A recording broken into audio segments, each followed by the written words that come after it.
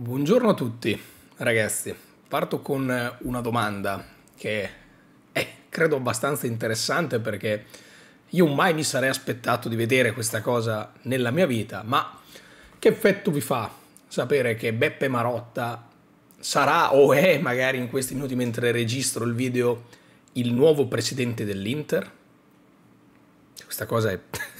per me veramente sconvolgente un, eh, un dirigente, un uomo, una persona che lato Juve ha creato veramente qualcosa di, di, magico insieme ad Antonio Conte, sarà il presidente dell'Inter, Antonio Conte diventerà invece l'allenatore del Napoli. Ma qua mi sembra che negli ultimi 12-13 anni, da, da quando Marotta sceglie Conte ad oggi, sono successe davvero tante cose davvero tante cose in cui abbiamo visto degli alleati diventare nemici e dei nemici diventare alleati perché lo stesso Allegri che era al Milan non era mai stato particolarmente dolce nei confronti della Juve dopo il gol di Montari. Abbiamo visto Sarri sulla nostra panchina vedremo Tiago Motta che è stato un altro eh, di quelli che è sempre stato dalla parte dei villain, dei cattivi per quanto riguarda la Juve quindi insomma il calcio non smette mai di stupirci e queste cose sono molto molto interessanti, molto, molto simpatiche da pensare col senno di poi. Fatemi sapere che cosa ne pensate. Fatemi sapere anche cosa ne pensate di questa risoluzione contrattuale che c'è stata ieri sera tra Allegri e la Juventus, perché è uscito questo comunicato, due righe veramente in croce in cui effettivamente la Juventus arriva poi a ringraziare Allegri, quindi quel comunicato, come avevo spiegato, era stato duro per necessità, perché si pensava di andare allo scontro anche in tribunale, alla fine al tribunale non ci si arriva, Allegri non è più vincolato legalmente alla Juventus, è libero di firmare per qualsiasi squadra in questo momento, che possa essere una squadra di Serie A, una squadra estera, una squadra magari anche dell'Arabia Saudita che l'anno scorso si è dimostrata interessata, sembra che Allegri abbia volontà nel proseguire in Serie A, però mai escludere nemmeno queste cose qui, si parla di una spesa da parte della Juve di circa 4-5 milioni lordi di buona uscita nei confronti di Allegri e del suo staff. Ora, aspettiamo le comunicazioni ufficiali perché poi queste cifre verranno messe a bilancio, le scopriremo soltanto in occasione dell'assemblea dei soci, immagino, però dovrebbero essere queste cifre qua e rispetto ai 20 milioni di cui si parlava in precedenza è un bellissimo risparmio per le casse della Juve che possano finire sia su Tiago Motta sia sul mercato. Quindi questa è una buona, anzi ottima notizia per la Juventus, credo anche buona, ottima notizia per Allegri che alla fine non si è beccato il licenziamento per giusta causa. Bene o male, tutti contenti, tutti sereni, tutti tranquilli, non lo so. La vicenda però si è conclusa in questo modo qui e ora la Juve può finalmente aprire una nuova pagina, anche perché si è parlato tanto della possibilità di avere l'annuncio di Tiago Motta proprio nella giornata di martedì, martedì e oggi, vediamo se si muoverà qualcosa oppure no dopo aver chiuso un capitolo lungo e importante della storia della Juve. E intanto però Giuntoli non sta mica fermo, eh? ha la formica rossa che gli corre su per la schiena che gli permette di muoversi sempre, perché si sta parlando di uno scambio, fonte Gianluca Di Marzio, tra McKenny e Douglas Lewis. Ora, io non conosco Douglas Lewis, sono dovuto andare un po' a documentarvi, vi leggo quello che ho trovato su di lui su internet, se poi la trattativa andrà avanti andrò sicuramente ad approfondire questo discorso e portarvi dei contenuti veramente eh, di, di, di, analisi di questo profilo, perché è un centrocampista brasiliano, classe 1998, gioca in questo momento all'Aston Villa, è un incursore ma può giocare anche come eh, mediano, quindi centrocampista difensivo, mi è saltato subito all'occhio un dato importante, e cioè 35 partite in Premier League quest'anno e 9 gol, 10 in totale, quindi un centrocampista che è andato in doppia cifra, ma 9 gol in Premier League vuol dire essere veramente impattante, e ha un contratto in scadenza nel 2026. Se McKenny ha un contratto in scadenza nel 2025 e Douglas Luiz nel 2026, probabilmente Juventus e Aston Villa stanno ragionando su scambiarsi questi giocatori, poi non lo so, magari può esserci un piccolo... Eh,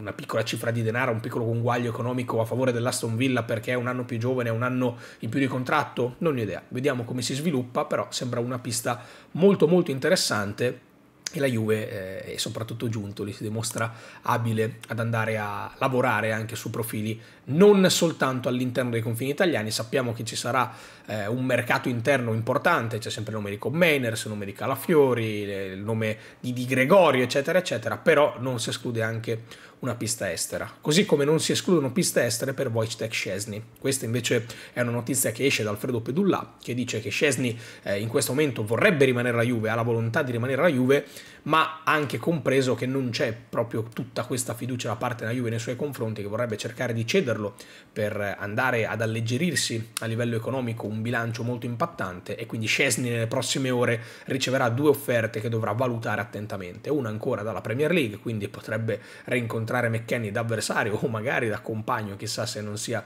proprio l'Aston Villa, e una dall'Arabia, ci sono sempre eh, quelle squadre saudite che eh, iniziano a essere interessati a, a questi questi nomi, importanti nomi di giocatori che hanno una carriera, un palmarès di un certo livello e sicuramente possono offrire anche valutazioni, stipendi, ingaggi veramente molto elevate. Vedremo quale sarà il futuro di Scesni, però la Juve inizia a muoversi anche su questi giocatori scadenza 25 per non farsi trovare impreparata. E scadenza 25 ce n'è un altro. Abbiamo discusso ieri, vi ho spiegato che secondo me Federico Chiesa non sarà un giocatore della Juventus l'anno prossimo. Si dice che Chiesa voglia rimanere alla Juve, penso che sia bene o male lo stesso discorso che si fa con Scesni. Chiesa e Scesni vorrebbero rimanere alla Juve, non è detto che la Juve sia disponibile nel trattenerli entrambi o magari nessuno dei due.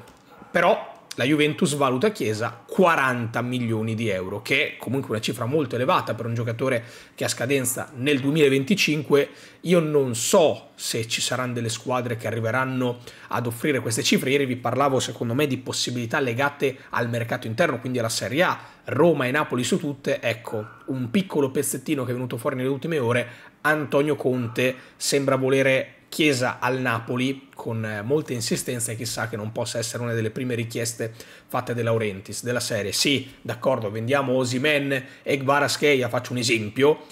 però poi quei soldi, quei milioni vanno reinvestiti su colpi, su giocatori, su profili che piacciono a me e chissà che l'attacco del Napoli il prossimo anno non possa essere Lukaku insieme a Federico Chiesa. Sarebbe molto molto eh, affine, secondo me, alle caratteristiche alle richieste di Conte. Nel 3-5-2 di Conte, Chiesa e Lukaku potrebbero essere due giocatori importanti anche perché Chiesa andrebbe ad allargarsi tanto, secondo me, e chissà che non possa poi aggiungersi anche un altro giocatore che dal centrocampo si alza un po' di più per andare a formare una sorta di tridente alle spalle di, di, di Lukaku, anzi di, di, tridente con Lukaku, due giocatori alle spalle di Lukaku. E proprio di tridente, se vogliamo, tra virgolette, dobbiamo parlare anche questa sera in ottica di Italia-Turchia. Si gioca a Bologna, si gioca al Dallara, allo stadio di Tiago Motta, allo stadio di Calafiori, ma anche allo stadio di Orsolini che questa sera dovrebbe partire titolare in questa sfida alla nazionale e Ildiz insieme a Montella che sfida l'Italia di Spalletti e tanti giocatori della Juventus. Interessante secondo me la probabile formazione, poi vedremo se sarà confermata perché si parla di 4-2-3-1 con Vicario in porta, di Lorenzo, Mancini, Bastoni e Di Marco che vanno a formare questa linea 4 che in realtà diventa una linea 5 staccandosi Di Marco andando a portarsi sulla linea dei centrocampisti con proprio il, il nostro Orsolini, nostro nel senso che avevamo discusso prima che andrebbe a formare l'esterno di destra con Di Lorenzo che andrebbe a fare invece il braccetto del terzo, centro, terzo centrale di difesa della difesa 3 eh, andando a fare l'esterno al pari di Di Marco con Giorginio e Cristante in mediana Pellegrini e Chiesa che andrebbero a formare appunto quei due giocatori alle spalle di Reteghi, quindi una sorta di 4-2-3-1 che però in fase di impostazione diventa un 3-4-2-1 con appunto Chiesa e Pellegrini sulla tre quarti e Orsolini e Di Marco sugli esterni. È una soluzione interessante perché credo che il dibattito grosso sulla nazionale sia proprio questo, e cioè si giocherà con la difesa 3 o con la difesa 4. Ecco, io non credo che eh, Spalletti sia un grandissimo amante della difesa 3, deve fare un po' di necessità virtù perché ha tanti giocatori all'interno della nazionale italiana che giocano con la difesa 3, però credo che sarà un, una nazionale molto camaleontica e quindi si partirà per quanto mi riguarda davvero con una struttura di 4-2-3-1 con un esterno che farà un po' più un sacrificio per, eh, per, cercare di essere tutta fascia. Io credo che questa sia la, la, soluzione migliore dal punto di vista tattica, tattico per, per questa nazionale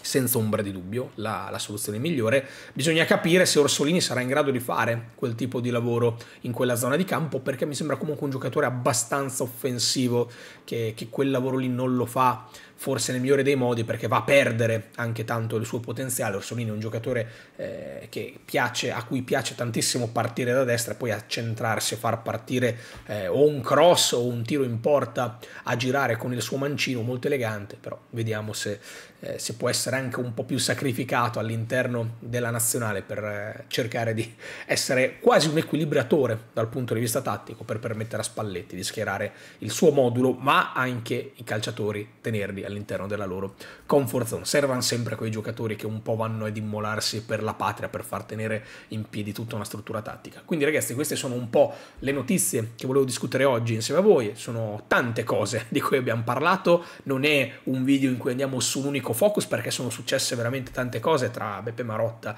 Massimiliano Allegri, stasera la nazionale e tante indiscrezioni di mercato, quindi tanti commenti sono attesi qui sotto e io vi ricordo che oggi è martedì e il martedì al pomeriggio c'è sempre la Q&A, quindi ci vediamo anche in live su YouTube. Ciao a tutti ragazzi.